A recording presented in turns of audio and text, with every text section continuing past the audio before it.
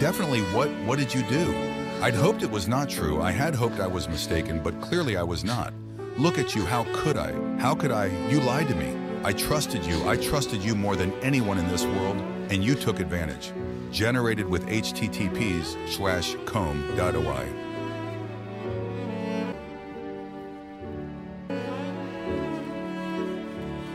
Take her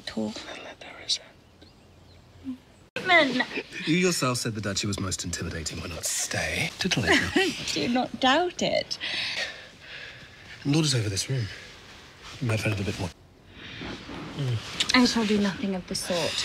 But I suspect Mrs. Colson shall always resent me if I do not. I must make a good impression. My mother told me a lady is nothing without her housekeeper. And nothing in this house shall run smoothly.